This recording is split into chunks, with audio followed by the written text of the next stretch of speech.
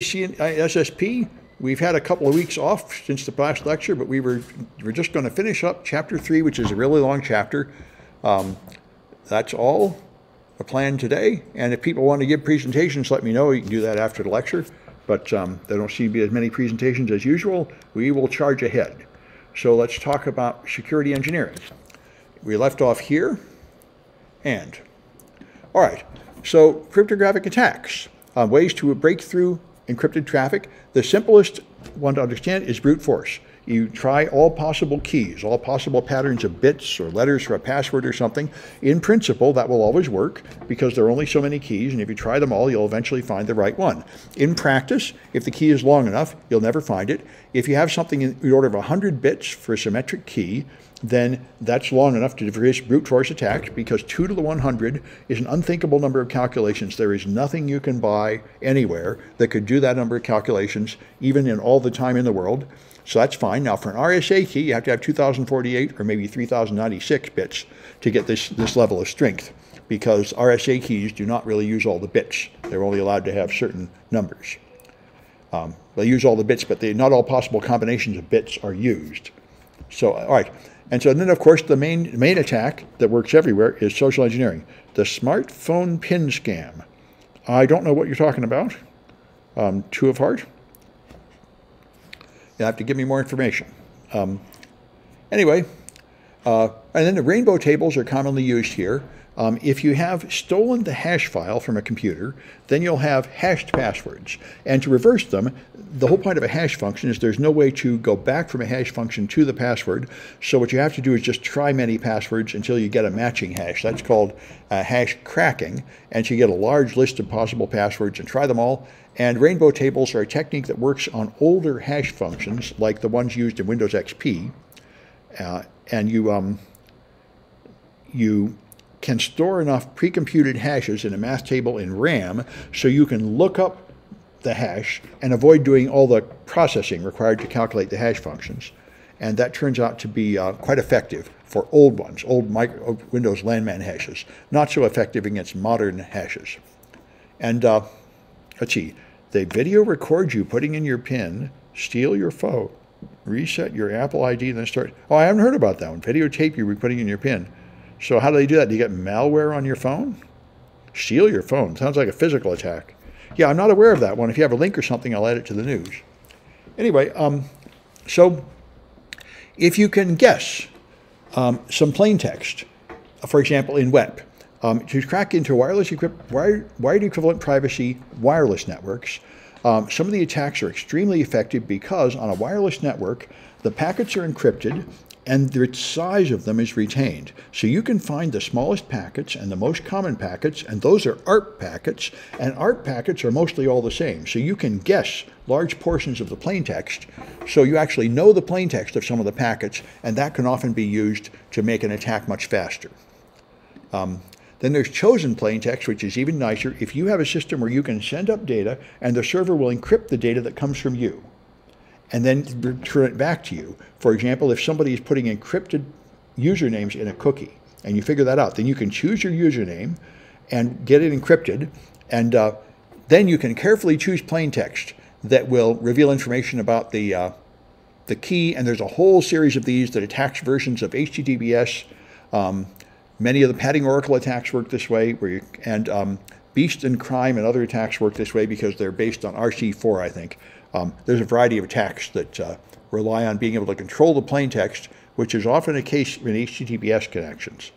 So then there's meet in the middle attack, attacker in the middle, this sort of thing. Um, oh, there's now that's man in the middle. Meet in the middle is very interesting. You have if you have something that has many stages of calculation, then you do half the, the instead of um, cracking. I should have a picture for this, but I don't. Instead of um, is this is why DES was found not to be very secure. So uh, let me just draw a little picture for this because it's easier to understand that way. All right, so you have a system. Here's the plain text. Then you feed that into DES, and then you get ciphertext. All right, so here's DES, for example, an old encryption scheme. It's not strong enough. Now, you might think you'd improve it this way. You just repeat this and have a second round of encryption with the same technique, but say a different key. Okay, now you'd think this would be stronger, but it turns out this is not stronger. There's an attack. Now, DES has 56 bit keys. So the problem with it is that, that this has only got 2 to the 56 possible keys. And so if you have two keys here, one 2 to the 56, and another 2 to the 56, then if you tried to guess both of those keys at once, you'd have to do 2 to the 112 and that would be over 2 to the 100. It would be very strong. So what you do is you don't try to guess these two keys at the same time. What you do is take your plain text and calculate this intermediate value here, the partially encrypted value. You calculate that for all possible 2 to the 56 keys. And then you take the ciphertext and do one round of decryption and start doing that for all 2 to the 56 keys, and eventually you'll find a match, and then you're in. So instead of having to do 2 to the 112, you have to do 2 times 2 to the 56, which is monstrously smaller.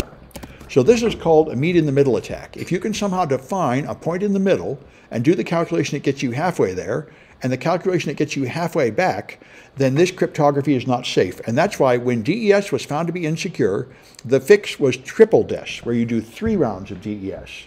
That was the only way to make it stronger. Two rounds would not have made it significantly stronger. All right, and this is a common attack on crypto systems. If you can find some way to cut it in half, then it gets much weaker. All right, uh, you might also be able to find some information about the key. Um, if you can guess something about it, if somehow you have information about the key, then of course that, uh, that lowers the attack. And this is what happened to WEP by, by gathering certain frames and doing mathematical analysis on them in WEP wireless networks, you were able to eliminate a bunch of keys and lower the number of possible keys down to a small number and then try all the possible keys. Differential cryptanalysis is a very powerful technique that was top secret military at the NSA for a few decades, uh, apparently, before being independently invented on the outside. And what you do here is encrypt two plain texts that are very similar but differ only by a few bits. And for many um, for many uh, encryption routines, they're not dispersing enough. So changing a few bits of the plain text will not have a uniform effect on the ciphertext. It'll only affect certain parts of the ciphertext. You can deduce something about the key. Now, DJ is asking, how do you do the first decryption step? Well, see, what you do is, uh, in this situation, I'm trying to find the key. You've encrypted some plain text that I know, and you, you turn it into ciphertext, and I'm trying to find the key. So um, you're doing double DES. I know how to encrypt and I know how to decrypt, but I don't know this key and I don't know that key. So I can find them. I try all possible keys here, which I can do because 2 to the 56 is not too big, and then I try all possible keys here. And when I meet a match, something equal in the middle, then I found both of those keys. So I just have to do two separate searches through a list that's only 2 to the 56 long, instead of having to ever do a search through two, through 2 to the 112, which would be impossible. That's the, the fact that you can you have a known way to get to the middle from both ends. One round of single DES will get you to the middle from this side, and one round of decrypting single DES will get you to the middle from here. You do have to have a known way to get to the middle from both ends. That's what makes the meet in the middle attack possible. All right. And then, of course, there's side channel attacks. These are quite devastating. It's, it's almost impossible to build a physical device that doesn't leak information. The time it takes, the power it consumes, the radio waves emitted while it's doing the calculation, all these things tend to leak out information about the key. This is very difficult to prevent. Um, the NSA had a Tempest project about this, and they concluded the only thing that's safe is to be in like an underground room with no windows and metal all around you to block the radio. Um, then, of course, there are implementation flaws. Often, um, even you make some mistake, like you leave the plain text in the RAM, or you put it in temporary files, or you leave the key somewhere on the hard drive where it can be found. And this keeps happening all the time. Just mistakes in how you implement it. Even though the math is fine, the actual algorithm you write or the equipment you build has a flaw like that, where the key is just sitting around somewhere. Uh, one really common one is people use passwords in their GitHub repositories or API keys. So the math is fine, but the secret is just lying somewhere. Then, of course, there's the birthday attack. This you use against hash functions. So if you are hashing something, it turns out that you only have to try the square root of all possible hash values before you'll find a collision. And so, for example, if you have month and day of birthdays of people, there's 365 possible birthdays. So if you start asking in a room, what are your birthday? Um, you find how many people will it take before two of them have the same birthday? And the first guess would be you'd have to have 180 people, half of 365, before you'd find a birthday, but it's much less. It's really only 23 because all you need is about 180 pairs of people. So the first one might match the second one, the first one might match the third one, the second one might match the third one. So 23 people has 253 pairs of people. And that means it's more likely than not that you will find two people with the same birthday. And so this applies to all hash functions. So an MD5 with 128 bits, if you just start calculating hashes of random inputs, you'll, you're likely to find a collision after 2 to the 64 calculations. So your hash function has to be really twice as long as the largest number of calculations you can do. That's why this is not considered secure and even SHA-1 with 160 is not considered secure anymore, and the shortest hash functions that anybody considers secure are now 256 bits long. So, digital signatures are extremely important from the Digital Millennium Copyright Act. The people sign things all the time. They have legal weight of a signature, and they prove who you are. So you have um, a private key, public key pair, so if you take this thing you want to sign, you calculate a hash, any kind of hash. You'd probably use SHA-2 instead of SHA-1 these days. And then you um, hash it, you encrypt it with your private key. And that is now your digital signature. And your public key is known, so anybody can verify it with your public key. This proves that the person who signs this holds the private key, and that proves that it's you because you never share your private key with anyone. It does not provide confidentiality. Nothing here encrypts the message. It just gives you a signature that proves who did it. And so you verify it. The person who receives it calculates the SHA-1. Then they, uh, from the, the letter, then they take a digital signature and decrypt it with the public key and make sure those two things match. And if they do, that proves that it is from the person who held the private key and it has not been modified, or the hash would change. So message authentication code is another way to do it. Um, CBC MAC is another way to do it. Um, this gives you authenticity using hashing and a shared secret key instead of a public key. And HMAC is hashed message authentication code, so it uses a shared secret and a hashing algorithm like MD5 or SHA-1. And these are commonly used in financial transactions and many other ones to make sure that the you know who something is from and you know it hasn't been altered. So the public key infrastructure is what handles all these public keys. So it handles digital certificates, um, and all the HTTPS connections use them. You can have them bound to a person, but mostly they, people only get them for servers. Um, you can, in principle, have mutual authentication where there's an HTTPS key at both ends, but that's not what most people do. They mostly only on the server. All right. And I can't tell which page I'm on over here. Ah, here we go. All right. So here, the certificate authorities are the companies that create the certificates and sell them, although Let's Encrypt hands them out for free. Then you have registration authorities that authenticate users. Certificate holders are people who can sign documents, and clients that validate signatures, and you have repositories that hold these and hold certificate revocation lists for certificates that are known to have been compromised. And there's a newer system called Online Certificate Status Protocol that is the new system to place certificate re, uh, revocation lists. Both of these actually don't work too well. It's a weak spot in the public key infrastructure. Right, and so um, you have to protect your private key. If you lose your private key, then you won't be able to sign any more documents with it. And if somebody else steals your private key, then you can't trust it anymore and you'll have to revoke the certificate. Is it possible for CAs to be faked, like supply chain attacks? I haven't heard of that one. I've heard of them being hacked. They, of course, use cryptographic signatures. Um, but uh, six certificate authorities have been known to be hacked into, and people actually stole the private keys from the root, and that pretty much puts them out of business. Um, there was one that was faked about 10 or 15 years ago at DEF CON. VeriSign was faked because they were actually using MD5 as the hashing algorithm, and that humiliated them, and they upgraded to one of the SHAs. So uh, that's the closest thing to what you're describing there. All right, so if you want to back up your private key, then you probably don't want to just put it on your backup tape because then if somebody steals your backup tape, you'll have it. So you might use key escrow, where you have uh, a third party trusted with it, or even pieces of the key with several third parties where none of them has the whole key. So SSL was the first system invented by Netscape to provide encryption for websites, and it's all versions of it are now obsolete, and TLS is the version we're is the upgrade that we're using now. So here's the SSL or TLS handshake. You you connect to a server. So first you do a SYN SYN-ACK ACK on port 443 to open a TCP connection, and you haven't got an encryption yet, but now you've got a connection. Now you send up a client hello, and you get an ACK back. Then the server sends you a server hello, and um, you send an ACK back, and now you get a certificate from the server. Then you send the certificate off to a trusted third party to validate it.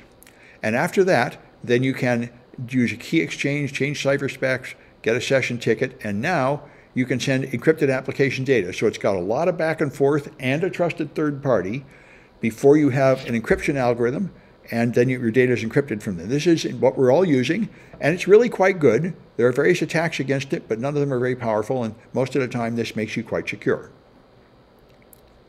I had heard the CN domain had issued a fake certificate for China's great. Oh yes, yeah, the Chinese CN domain did. China did issue a fake certificate for Google. Now that has happened.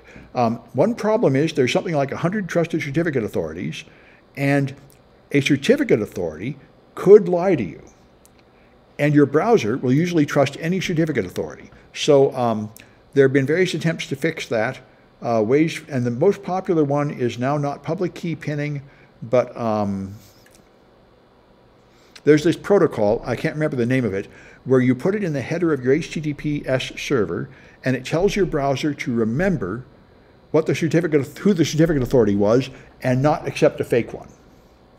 Um, so that's the current solution for that.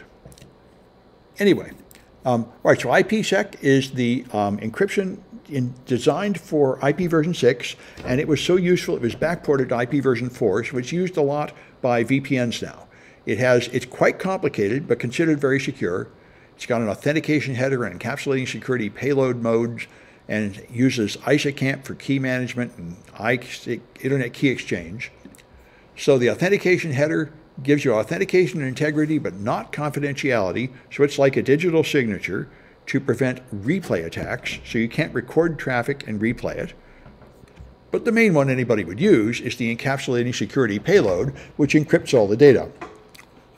And uh, remember, they said this really should be the only one in the protocol. There's no real reason to use the other one. Anyway, um, all right. Then, and so you, it makes a security association you need to make two of them, one for one way of traffic and one for the other way. And um, that's the game. And if you're using authentication header and ESP, then you got to have four security associations. So it's really complicated. All right, and uses these, these security associations use these protocols, um, ISAKMP and something called the Security Parameter Index, which is the identifier for a security association. And like most things in the uh, CISSP, you don't really have to know exactly how any of this works. You just have to recognize the terms and know what they apply to. All right, so there's a tunnel mode used by security gateways, and ESP tunnel mode encrypts the entire packet, and transport mode encrypts the data but not the headers. Um, all right. So Internet Key Exchange can use a variety of algorithms an encryption algorithm for confidentiality and a hash function for integrity.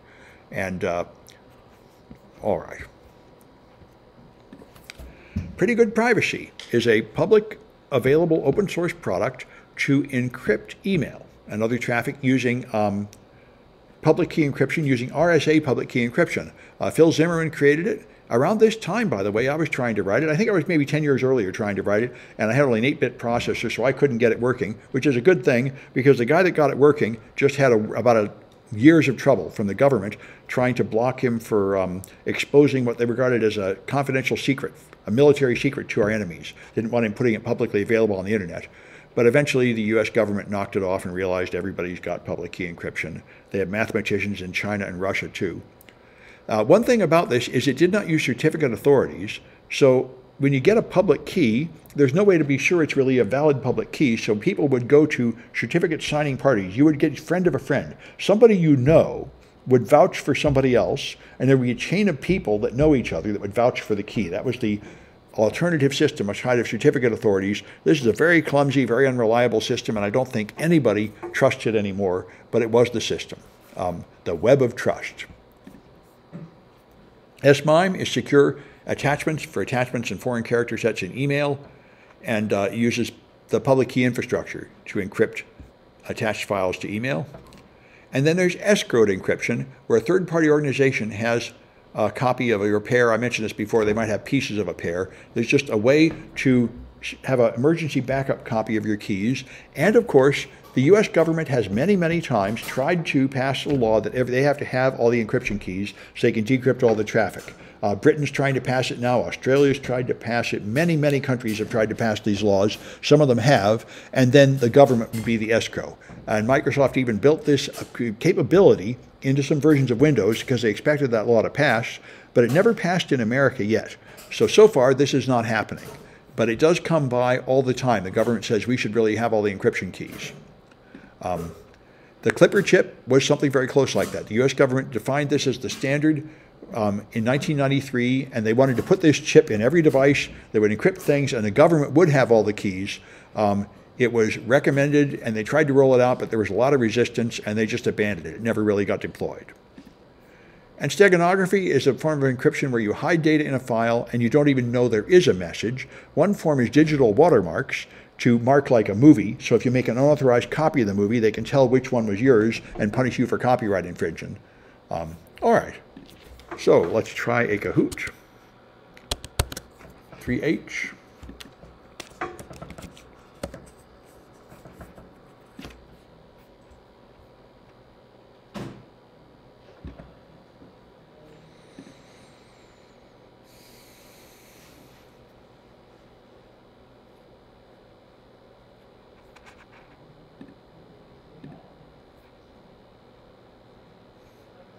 3H.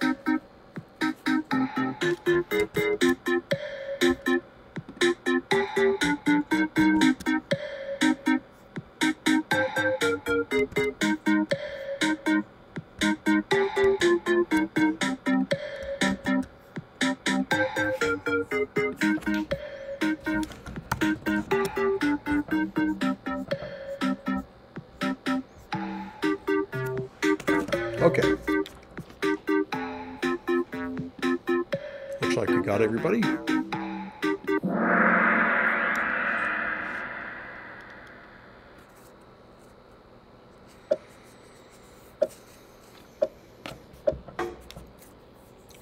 All right, so how do you defeat two DES?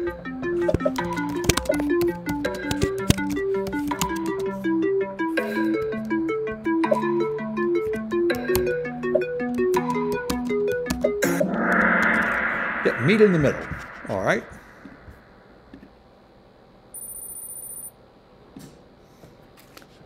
All right. What attack deduces the key from the power consumption?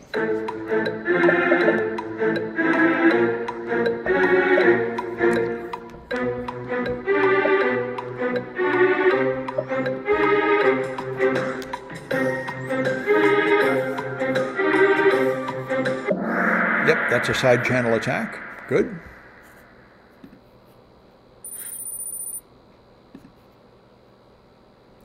All right, what system ensures the authenticity of a public key?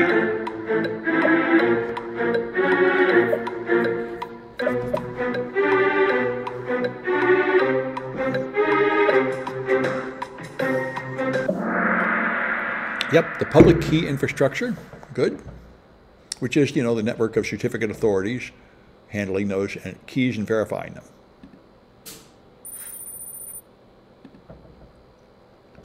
All right, what system uses AH and ESP?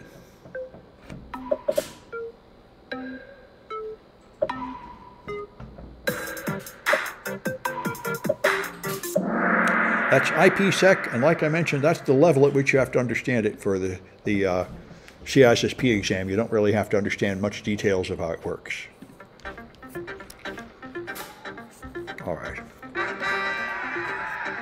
This is pound pound. I guess they don't want the points.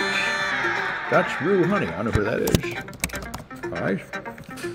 And uh, good, good. All right, good. So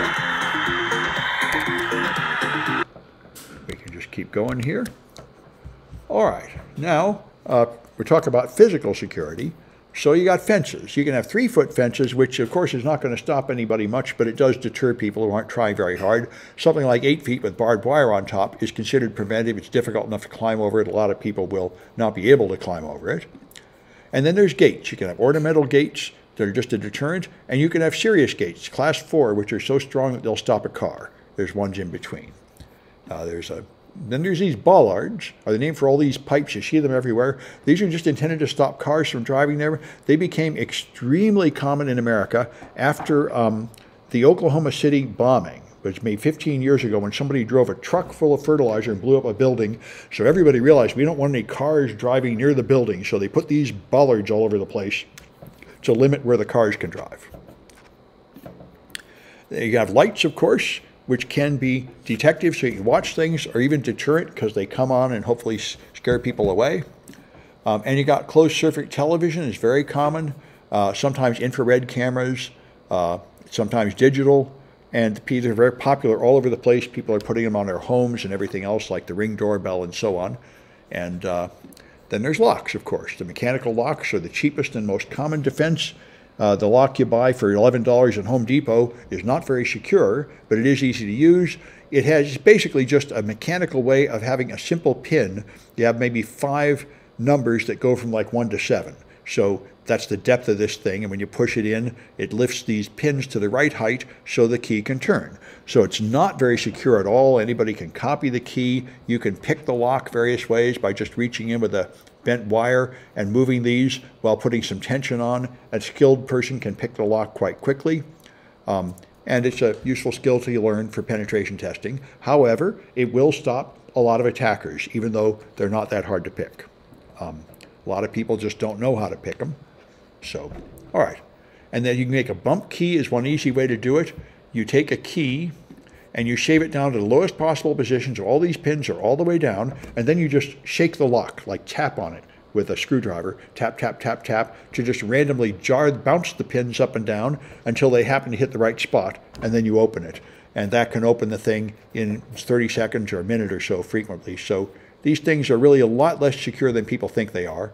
But they're what most everybody uses, just like passwords, because although they're not very secure, they're cheap and easy to use, and they do offer some level of security. All right, you can have a master key that will open all the locks, or a core key that will remove the core, so it's easy to interchange the, uh, the key to rekey things quickly.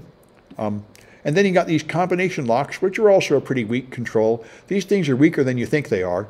Um, they don't really have 36 unique locations. There's only gear in there with something like eight positions, so there are patterns you can use to deduce the uh, the key. You can go online and find it. You just have to pull on this and go to the one that you can feel the jolt when it passes. Uh, by understanding how they work, there are ways to get in. But anyway, just like the ordinary key lock, they'll stop people who don't know how to uh, break into them. Um, all right. And then there's a smart card, which, like credit cards are now smart cards, it contains an integrated chip. And so you might have to put it into a contact device or just hold it near a contactless one. And now it has a cryptographic signature that exchanges with the device. Magstripes just have static data stored on a strip of magnetic material like Magstripe credit cards, and that data is not encrypted or anything, so it's really uh, not particularly secure at all. But the smart cards are much more secure. Um, they actually use a different number, like a smart card will actually have a different number for every transaction, so people cannot replay it. the older cards where you the rubber things you go chunk chunk and just write down the number, or the ones where you just type your number into some form online, the merchant can just submit further transactions based on that number. You're just handing everybody a blank check into your account. The only defense is the credit card company watching for suspicious transactions, which they do very vigorously, and they keep the fraud down to about half a percent of transactions. So there's a smart card, common access card is another one you'll have. Um, and, you know, all right. Uh, so you can follow a person through a secure bore, wait for them to open it and just follow them. And if people don't know not to let people follow them through the door, they might let them do it. So you have to train your staff not to do it. Uh, a man trap is a good solution where they open a door, they have to close it to open the next one, and in the middle, they're in the middle, and there's a window, and a guard is looking at them. So if they don't really have a working authorization card to open the second door, they're trapped in there, and you can just call the cops, please arrest this guy. So that's nice, expensive, but a good, strong solution. Then there's turnstiles, like they have at BART, are supposed to only let one person in at a time, and as we can see, people can just jump over them, so they're a pretty weak control. Um, to, identify forbidden objects like weapons, this can be very hard. Uh, weapons, you might be able to detect a gun with a variety of metal detectors, but you can't really detect small things like SD cards, and this is why uh, Bradley Manning, uh, now Chelsea Manning, was able to just copy data on a CD and take it out. And uh, one of my guests talked about searching people for stealing company data when they left, and he said he never failed to find it. Um, all right, so then you detect motion. This is usually used to let people out. Uh, you lock all your doors, but if somebody is somehow locked in, and if there was to be an emergency like a fire, you'd have to let them out. So most doors have motion detectors. If you can get motion on the inside, they will open. So they might you probably work on infrared. They might work um, using ultrasonic or microwaves. They send out some kind of signal and detect it. Um, so this is actually an easy way to break into buildings. You shove in something that moves around like a balloon deflating, and it makes motion on the inside, and then the door will open. Don't use smart cards on NFC protocol. They're pretty easy to be copied or overturned in the history, and then need to be replaced. I did not know that. That's interesting. Okay. Anyway, um, all right. So you can also have these magnetic door and window alarms that just detect if the windows are shut, and then if somebody opens the window, it will ring an alarm. Those are cheap and common. And then you have doors, of course. You have to put the hinges on the inside, otherwise people can push the pins out of the hinges. And uh, I mentioned you can shove something in and detect a motion sensor on the inside, creating the door to open. It's one way to get in. Of course, you can shatter glass to get in, so you might have to get stronger glass. There's glass made out of unbreakable material, uh, bulletproof glass, glass with wire mesh in it, and so on. Um, all right. And Flipper Zero, yeah, Flipper Zero is popular. That'll do simple replay attacks, but I don't think it'll fool my smart card.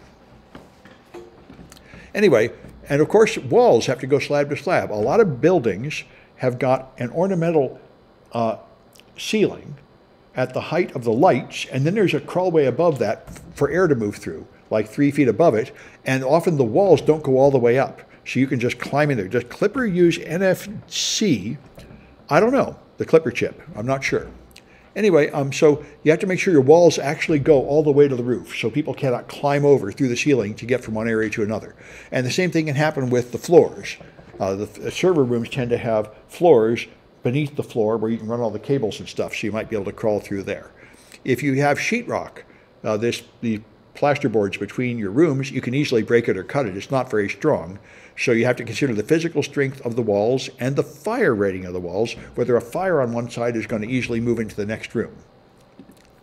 Then there's guards, of course. You can have professional guards with advanced training. You can have these amateur guards that really don't do much except observe and report, um, like, like mall cops. Uh, whatever you do, you have to give them clear orders, and people can often trick and attack them with social engineering. Um, then there's dogs. Dogs should be deterrent and detective controls, but the problem is dogs can kill people, and then you might have lawsuits and such. Uh, and then, of course, you have visitor badges, so you keep track of who's supposed to be there, and everybody knows not to show them anything confidential. Um, so if you don't keep issuing new visitor badges with a different color every day or something, then people can save the badges and reuse them. So you might use electronic badges or something like that, so it's more difficult for people to make a fake badge. All right, let's try another Kahoot. We're up to 3i. All right.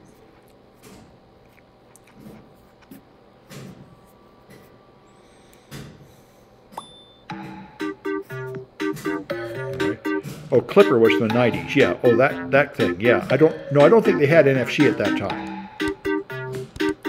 You're talking about the Clipper chip. Yeah, that was just a simple uh, electric chip. Nothing fancy. Hmm. That's fine. All right.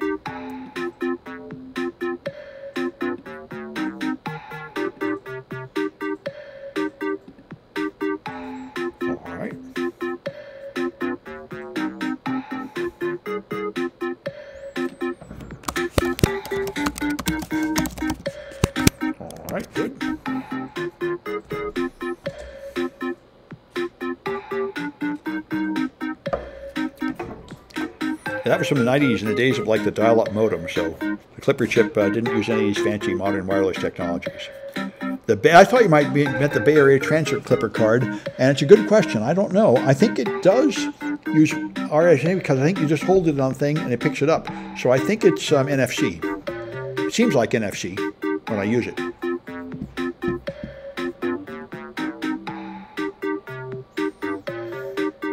Because you don't even have to slide it through a reader. Yeah, I'm pretty sure it's NFC.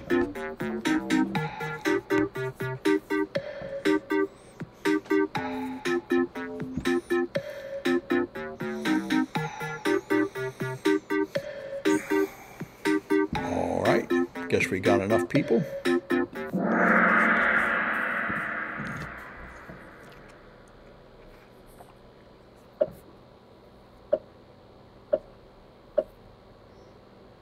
All right, so which one is a deterrent?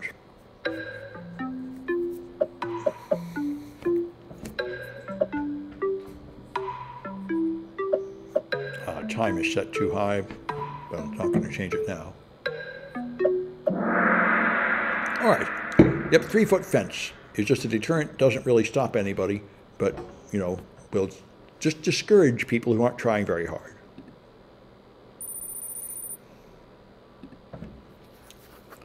All right. If you shave your key down to the lowest position, what have you got? These work on cars too. One of my students got a car stolen by a shave key.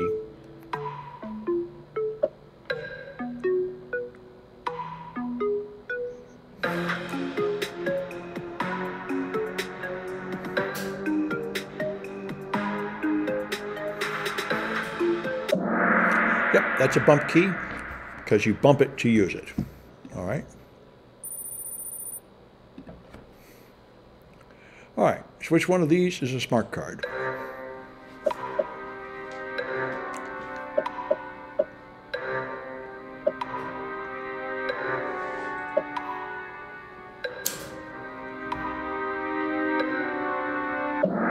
Yeah, the ICC is, uh, I think, the military smart card.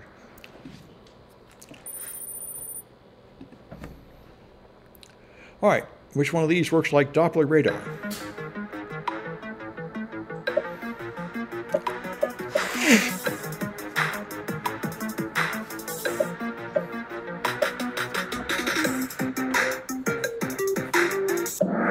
Yeah, it sends out a signal, the ultrasonic, and gets the bounced off signal and determines if there's motion from that. This uses sound. Doppler radar uses, of course, radar. All right. That's Billy. There's one twice. Good.